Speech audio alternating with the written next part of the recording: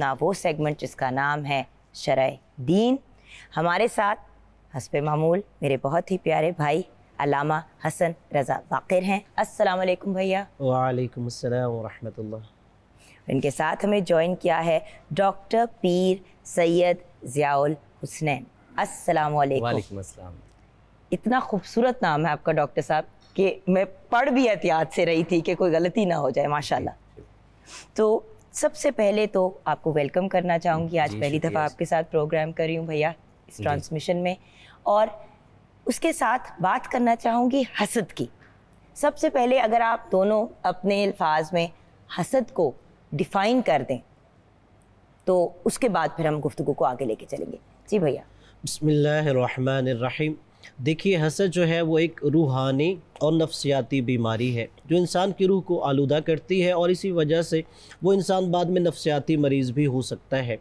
उसका मतलब ये है कि अगर आप किसी दूसरे बंदे के पास कोई नेमत देखते हैं, कोई कामयाबी देखते हैं, आगे बढ़ता हुआ देखते हैं तो आप ये ख्वाहिश करते हैं कि उससे वो नेमत छिन जाए कि वो जिस कामयाबी की तरफ़ बढ़ रहा है, उसकी कामयाबी के कदम रुक जाएँ, वो दूसरे को आगे बढ़ता हुआ नहीं देख सकता, या दूसरे से वो नेमत छिन जाने की वो आरज़ू करता है। और इसमें हसद के साथ रश का फ़र्क समझना ज़रूरी मैं यही कहने लगी थी कि देखिए हमें तो हमेशा से बचपन से माँ बाप कहते आ रहे हैं। मामा हमेशा कहती थी मेरी बहन के बारे में कहती थी आपा को देखो कितने अच्छे उसके नंबर आते हैं। तो मैं हमेशा देख के सोचती थी कि यार एक दिन मेरे भी आएँगे।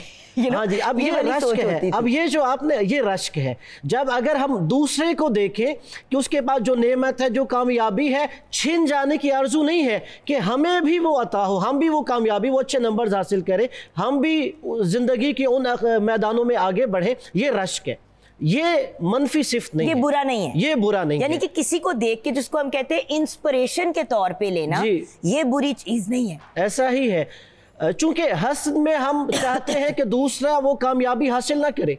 उससे छीनने की आरज़ू कर रहे हैं। लेकिन रश्क में हम कहते हैं, ठीक है, वो भी आगे बढ़े, उसके भी अच्छे नंबर है, वो भी कामयाब हो और हमें भी ज़िंदगी के मैदान में वही कामयाबियाँ हासिल हो। लिहाजा इंसान को हस से बचना चाहिए और रश्क करना चाहिए।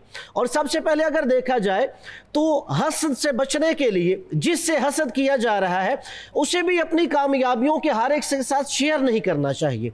बस अवकात यह है कि हम अपनी हर कामयाबी जब शेयर कर देते हैं तो दूसरा मद्द मुकाबल जो है। तो वो जब देखता है कि फ़लाँ ज़िंदगी के मैदान में आगे बढ़ रहा है तो जिसके दिल में आपके बारे में कोई नफ़रत हो कोई कीना हो तो इस वजह से भी हो सकता है कि वो आपसे हसद करे।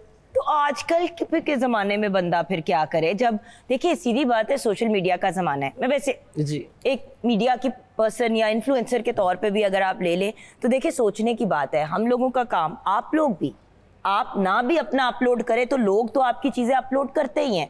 जी। तो अब इस अमल से बंदा कैसे बचे? आप समझ रहे हैं भैया? मतलब एक, एक इंसान बल्कि आपकी तरफ़ आ जाती है उस बात पे कि हंस का तो समझ आ गई हमें और। रश्क भी हमें समझ आ गई कि एक अच्छी चीज़ है। लेकिन आजकल के ज़माने में तो वैसे ही हर चीज़ पब्लिक है। पहले इंसान की कोई जॉब चेंज होती थी प्रमोशन मिलती थी तो घर वालों को पता होता था आप अपने मुँह से बताएँ तो बताएँ। अब हर चीज़ पब्लिसाइज हो जाती है। तो ऐसे ज़माने में बंदा हसद से कैसे बचे फिर? देखिए हसद की जो बुनियाद है वो आपने भी और अलामा साहब ने बड़े खूबसूरत अंदाज में बयान की है कि इंसान किसी की कामयाबी को देख के तो उससे हसद करता है, जलता है। लेकिन इससे बचने का तरीका ये है कि कुरान करीम में अल्लाह रब्बुल इज़्ज़त ने नबी करीम सल्लल्लाहु अलैहि वसल्लम को जो इरशाद फरमाया कि वमिन शर्री हासिदिन इज़ा हसद, कि सबसे पहला इसका इलाज तो कुरानी ये है कि हम सूरह फलक जो है उसकी तिलावत करें। सूरह अन्नास जो है उसकी तिलावत करें। और अल्लाह रब्बुल इज़्ज़त की पनाह में आएँ कि अल्लाह रब्बुल इज़्ज़त जो हासिद है हमें उससे महफूज रखना। क्योंकि हसद बुनियाद है हर बुराई की। उसमें जब जादू है ये भी देखिए इसके पीछे जादू चोरी चोरी मर्डर, भी इसमें शामिल है। है। गीबत है चुगली है ये सारी की सारी चीज़ों का ताल्लुक भी हसद के साथ है। तो ये हसद सिर्फ़ एक बुराई नहीं है बल्कि इसके साथ बुराइयाँ जुड़ी हुई हैं। एक के साथ एक करके बुराई जुड़ी है, चुगली है। आप देखिए, अभी आपने इब्तदा में कहा कि फैमिली में सबसे पहले जो है वो हसद किया जाता है। जब हम हज़रत यूसुफ़ अलैहिस्सलाम को, की ज़िंदगी को देखते हैं तो सबसे पहले हसद भी उनके भाइयों ने किया था। और हसद की वजह क्या थी? हज़रत यूसुफ़ अलैहिस्सलाम की जो हुस्न था आपके जो अखलाकियात थे आपके जो मामलात थे जो शख्सियत थी और उन सारी चर्चे थे? जी चर्चे थे। और इसीलिए मुफसरीन भी कहते हैं कि हसद की इब्तदा घर से होती है। बिल्कुल सही। और यहाँ पे हम ब्रेक की तरफ़ पढ़ते हैं। ब्रेक के बाद जब वापस आएँगे देखिए व्यूअर्स हम लोग टॉपिक पे तो बात करते हैं लेकिन ख्वाहिश मेरी छोटी सी ये है कि टॉपिक पे बात तो करें लेकिन उस मसले के हल की तरफ़ भी जाएँ। क्योंकि गुफ्तगु तो ऑनलाइन कहीं पे भी हम सुन सकते हैं। मसले का हल कैसे ढूंढें? अल्टीमेटली तो हमें इसी का बेनिफिट होगा। एंड देखिए व्यूअर्स माने या ना माने किसी ना किसी स्टेज पे हम सबने रश तो किया ही है लेकिन हसद भी किया है। मैं मानती हूँ ये मैं ऑनर मानती हूँ कि कभी कभी शुरू में अपने करियर के मैं लोगों को देख के कहती थी यार इस इसमें क्या है? जो ये इतनी कामयाबी की सीढ़ियाँ चढ़ गई। लेकिन मज़े की बात बताओ व्यूअर्स जब मैंने दिल से इस किस्म के फजूल फजूल ख्याल निकाल दिए अल्लाह पाक ने इतनी इज़्ज़त दी इतनी रिस्पेक्ट दी कि मैं मैं अब किसी की कामयाबी देखती हूँ तो दिल से उसके लिए दुआ करती हूँ कि या अल्लाह ताला इसको मजीद और से नवाजे और इसको इतना दे कि वो संभाल सके। व्यूअर्स आप लोगों के कुछ सवाल मेरे तक पहुँचे हैं जिनको हम एड्रेस करेंगे। लेकिन सीक्वेंशली अभी हम बढ़ना चाहते हैं क्योंकि हमने बात एक जगह पे छोड़ी थी वहीं से अलामा साहब पिकअप करना चाहूँगी। कि हसद घर के लेवल पे शुरू होता है। जी। मैं अपने घर का एग्ज़ाम्पल देती हूँ। अम्मी अक्सर क्योंकि मैं मिडिल चाइल्ड थी तो और ये मेरे को बुरा नहीं कह रही कि वो, वो कुछ बुरा करती थी बट माँ बाप की एक हैबिट होती है नाना नानी दादा दादी जो घर के बड़े होते हैं उसको देखो वो कितनी उसके नंबर कितने अच्छे आते हैं? भाई को देखो वो लड़का है वो कितने शराफत से बैठा होता है। तुम्हारा उछलना कूदना ही नहीं खत्म होता। आप समझ रहे हैं? तो इन चीज़ों से एक तो ये भी एहसास कमतरी का भी बच्चा शिकार होना शुरू हो जाता है। और उसको अपना भाई या बहन या सारे भाई बहन बहुत बुरे लगने शुरू हो जाते हैं। ऐसा ही। तो क्या हसद इंसान में खुद पैदा होता है या इर्द गिर्द वाले पैदा करते हैं? अब देखिए सबसे पहले वो वालिदैन अपनी औलाद पर बहुत ज़्यादा मनफी असर छोड़ते हैं कि जो अपनी औलाद के दरमियान फ़र्क को मद्देनज़र रखते हैं। अगर आपका एक बेटा कामयाब हो रहा है और आप उसकी हौसला अफजाई कर रहे हैं और दूसरे बच्चों की अगर हौसला शिकनी कर रहे हैं तो ये घर से हम हसद को खुद परवान चढ़ा रहे हैं। सबसे पहले तो वालिदैन की ये ज़िम्मेदारी है कि वो अपने सारे बच्चों को एक सतह पर रखें। अगर एक बच्चे को ज़्यादा प्यार दे रहे हैं और दूसरे को नज़रअंदाज कर रहे हैं तो वो जो नज़रअंदाज हो रहा है, खुद ब खुद उसके अंदर दूसरे बहन भाइयों के बारे में हसद पैदा होगा। तो सबसे पहले तो घर के अंदर जो है वालिदैन को औलाद में फ़र्क नहीं करना चाहिए। ठीक है, एक बच्चा आगे बढ़ रहा है, तन्हाई में उसकी हौसला अफजाई करनी चाहिए और इसी तरह लेकिन भैया देखिए कोई भी वायरस या बैक्टीरिया आपके सिस्टम में जाता है तो बीमारी बनती है। अब वो वायरस और बैक्टीरिया डालने वाला इंसान है कौन? मैं ये नहीं मैं बार बार कह रही हूँ माँ बाप कभी औलाद का बुरा नहीं चाह सकते। लेकिन उनके रवैये जो मैं अर्ज़ करना चाहता हूँ उनके रवैये जो है वो बच्चे पर असरअंदाज होते हैं। जब अगर कोई वालिदैन एक बच्चे को मसलन अगर तीन बच्चे हैं उनमें से एक बच्चे को ज़्यादा अहमियत दे रहे हैं वो बाकी दो बच्चों पर बहुत मनफी असर छोड़ रहे हैं। भाई बेटों के साथ ऐसा होता है कि बेटा मेरा शहजादा मेरा प्रिंस आ जा मैं सदके मैं सदके। बेटी जाओ भाई के लिए पानी लेके आओ। अब ये चीज़ें भी एक जेलसी क्रिएट करती हैं। ऐसा ही। कभी इसको इसमें ऐसा क्या है? जो हम इसकी खिदमतें कर रहे हैं, ये भी एक अंडरस्टैंड करने वाली बात है। ऐसा ही है तो यानी घर के जो रवैये हैं, सबसे पहले वो वालिदैन को तमाम औलाद के साथ एक ही सतह पर रखने चाहिए। और दूसरी चीज़ ये है, देखिए, कि कम अज़ कम अपने बच्चों की तरबियत के अंदर ये चीज़ भी शामिल होना चाहिए, कि उन्हें बताया जाए कि अगर किसी दूसरे के अंदर हमने कोई नेमत, कोई कामयाबी या आगे बढ़ता हुआ देखा है तो उससे छिन जाने की ख्वाहिश नहीं करनी। बेटा आपने वैसा बनने की ख्वाहिश करनी है वो हसूल के लिए आपने अमली तौर पे कोशिश करनी है। सही। और यहाँ पर फिर अगर किसी को आगे बढ़ता देखे तो जैसे कहते हैं माशाल्लाह ये हमारे यहाँ बोला भी जाता है। सुभान अल्लाह हाँ यानी अगर आप माशाल्लाह कह रहे हैं इसका मतलब ये है वो हसद का शिकार नहीं हो रहा। और हमें बचपन से बच्चों को आदत डालनी चाहिए कि अगर बहन भाई किसी ज़िंदगी के कदम में आगे बढ़ भी रहे हैं तो उसे माशाल्लाह कह के भैया बड़ी सिंपल सी लाइन है। देखो माशाल्लाह भाई के कितने अच्छे नंबर आए हैं। ऐसा ही। मेरी बेटी के भी आएँगे। बेशक। बात हो गई ना? ऐसा उधर भी लाड हो गया उधर भी लाड हो गया। बच्चे तो सिर्फ़ प्यार के भूखे होते हैं। जब आप उनको इमोशनली डिस्टर्ब करते हैं ना इस तरह से फिर उनके अंदर नेगेटिविटी पैदा होती है। ये मेरी अगेन नाकिस सिराया नॉलेजेबल लोग तो आप है मैं तो स्टूडेंट की तरह एक माँ के पॉइंट ऑफ़ व्यू नहीं आपने बिल्कुल सही निशानदेही की है कि घर के अंदर जो माहौल बल्कि जैसे इन्होंने भी इशारा किया कि जनाब यूसुफ अलैहिस्सलाम की तरफ़ इससे भी पीछे। आप जनाब आदम अलैहिस्सलाम का घर देख लीजिए। हसद घर से शुरू हो रहा था। जनाब हाबील अलैहिस्सलाम को काबिल ने कत्ल क्यों किया? वही घर का उन्होंने देखा है कि जनाब आदम अलैहिस्सलाम की निगाह में जनाब हाबील अलैहिस्सलाम जो है वो ज़्यादा पसंदीदा है तो उसके दिल में हसद पैदा हो गया। तो अब डॉक्टर साहब आपसे मैं ये जानना चाहूँगी कि ये तो फैमिली फ्रंट की बात हो गई और आप ज़रूर यहीं से गुफ्तगू को कंटिन्यू करें लेकिन अब मैं चाहूँगी इसको हम काम की कैपेसिटी में लेके जाएँ। क्योंकि दफ्तरों में जिस लेवल का हसद किया जाता है बाकायदा एक तो ये सोच होती है कि इसको क्यों प्रमोशन मिली? फिर उसकी प्रमोशन की बर्बादी और अगले को नौकरी से निकालने के लिए बाकायदा प्लानिंग की जाती है। जी। ये भी हमने देखा जी, है बिल्कुल तो घर से फिर जरा दफ्तर और काम की तरफ़ हमें ले चले प्लीज़ देखिए इसमें हम इसी चीज़ पे ही गुफ्तगू कर रहे हैं। नबी करीम सल्लल्लाहु अलैहि वसल्लम ने हज़रत अबू ज़र गफ़ारी रदी अल्लाह अन्हो की जो तरबियत की चूँकि आपके ज़िंदगी को जब हम देखते हैं तो नबी करीम सल्लल्लाहु अलैहि वसल्लम का ताल्लुक़ ऐसे था जैसे किसी बच्चे की तरबियत की जाती है। उसमें एक दिन नबी करीम सल्लल्लाहु अलैहि वसल्लम ने हज़रत अबू ज़र ग़िफ़ारी रदी अल्लाह अन्हो से इरशाद फरमाया कि अबू ज़र, सारी ज़िंदगी किसी भी अपने से ऊपर वाले की तरफ़ नहीं देखना, बल्कि तुमने जो अपने से कमतर लोग हैं उनकी तरफ़ देखना है।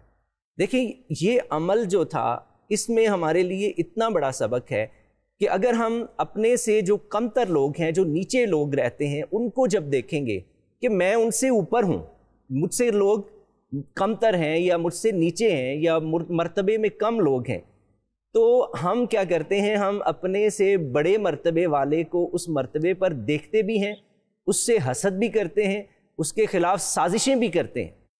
और साजिशें यहाँ तक, जिस तरह आप कह रही हैं कि ऑफ़िस में ऐसा होता है कि एक शख्स अपने घर के पंद्रह बीस लोगों का कफील है लेकिन उसके जो कोलीग्स हैं वो उसके साथ हसद की आग में इस कदर जल रहे होते हैं कि वो उसको उस नौकरी से निकलवा देते हैं।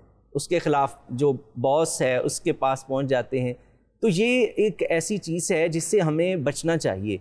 और अगर हम अल्लाह की रज़ा पे राज़ी रहेंगे नबी अल्लाह की तकसीम पे राज़ी अल्लाह की तकसीम देखिए हर बंदा अपने हिस्से का हर बंदे को अपने हिस्से का मिलता है। हर बंदे को। हर और कोई किसी से उसका हिस्सा नहीं छीन सकता और अगर वो छीन भी रहा है अगला तो उसके पीछे भी कोई लॉजिक और मसलियत है जो हम अंडरस्टैंड नहीं करते क्योंकि अल्लाह ताला की परमिशन के बगैर कुछ नहीं होता। इंसान को फ्री विल ज़रूर मिली है। जी।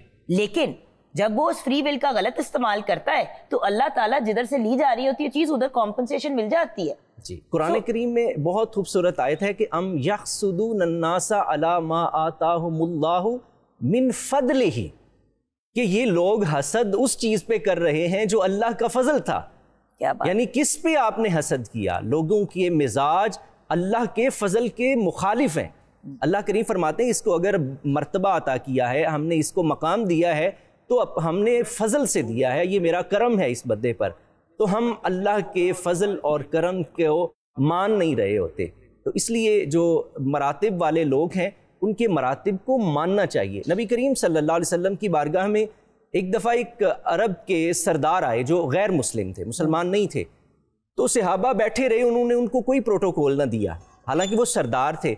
नबी करीम सल्लल्लाहु अलैहि वसल्लम ने इशाद फरमाया, कूमु सय्यदुकुम कि अपने सरदार के लिए खड़े हो जाओ। तो देखिए, ये बताया कि मरातब का जो अदब है, वो भी तुम पे लाजिम है।